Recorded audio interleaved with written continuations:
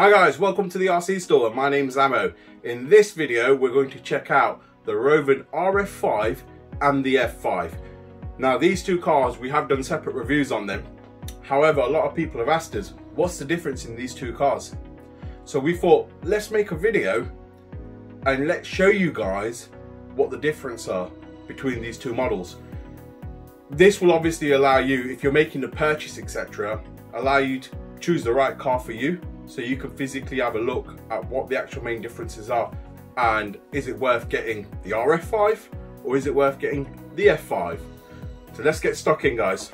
So from looking at the front of the vehicles my apologies first of all um, this bench is small to get two one scales on here. Or should I say these vehicles are actually extremely large. So on the front of the vehicles as you can see these plastic chin spoilers at the bottom of the bumper are pretty much identical. There looks like there's no difference. The shells slotting in the same slots on each side.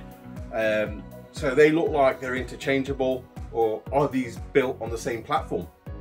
Next thing you will notice is the RF5 actually sits higher than the F5. Now, obviously this being a rally car and this being a touring car, that's a given. However, the tyres, when you check the tyres out, the profiles seem completely different. Now, on the RF5, the tyre profile is 160 by 65, where on the F5, the profile is 170 by 60. So the tyre sizes are completely different. On the F5, you got a lot more sidewall, where the RF5 you haven't.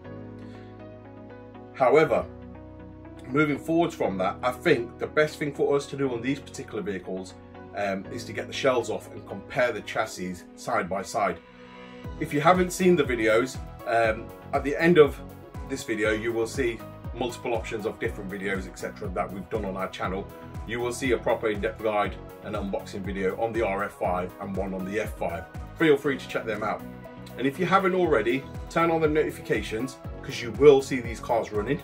Also, if you like our content, smash that subscribe button. Right, let's get these shells off and put these side by side so you guys can see firsthand what the main difference is on these two spectacular vehicles. Give me a second and I'll be back. Right guys, so we've removed the shells and the first thing that strikes you straight away is the RF5 has this incredible roll cage running over it where the F5 doesn't. Okay, fine. Let's start from the front end and go through the whole vehicle all the way back and let's see what the actual differences are. Or are they exactly the same? Right so starting on the front bumpers. Looking at both front bumpers they are both identical. I did say they may be interchangeable. I'm right they are interchangeable. They're absolutely identical.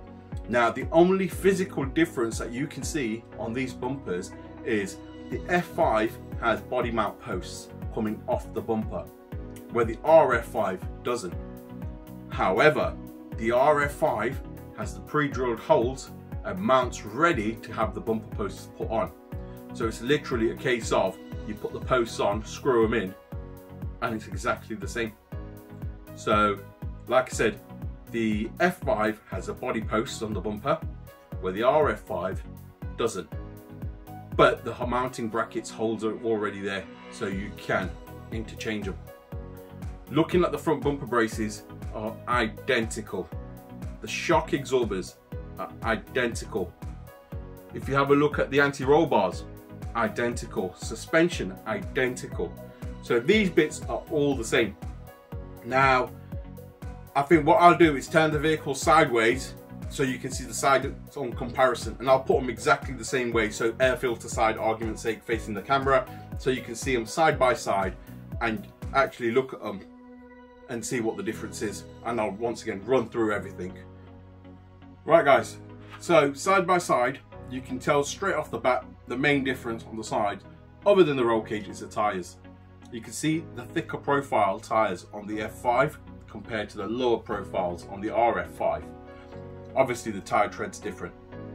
Even though that's the fact, this actually sits slightly higher. And now that's obviously down to body posts. So what I'm gonna do is remove the roll cage off the RF5 so you can see the chassis without the actual roll cage. So if I remove that, let's pop that down here. And now you look at the cars, they look pretty much identical. What we can first see, other than the tyres, is the body mounts. Um, the body posts are different. The front ones are not as long as the on the RF5 compared to the F5 and they're braced in a different manner. Um, also the rear ones on the RF5 sit a lot higher and closer together where on the F5 they sit a lot wider apart but a lot lower so that's obviously dropping the body down and on this side it's pulling the body up. That's pretty much the first things we notice. Going into the vehicles themselves, the air filters look exactly the same. The petrol tanks are exactly the same. The running gear, so all the spare gears, the gearings, the disc brakes are identical.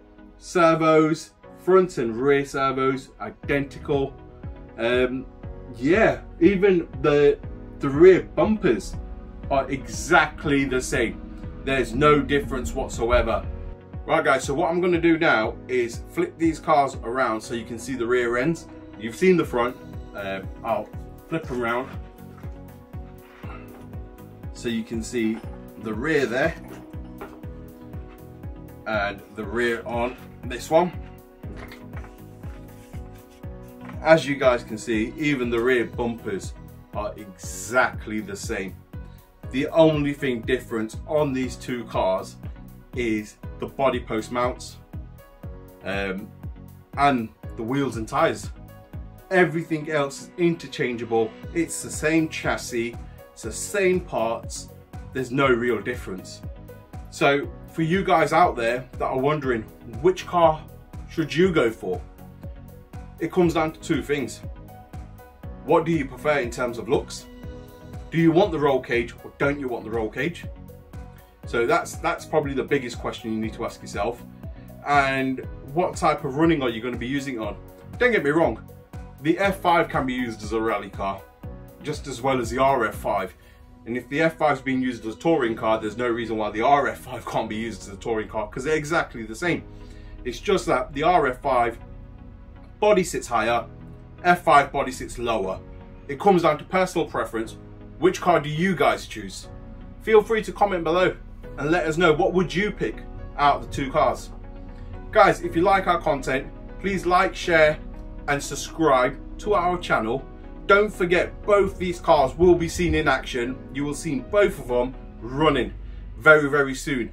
And if you don't want to miss them videos, smash that notification button and we'll see you in the next one. Take care.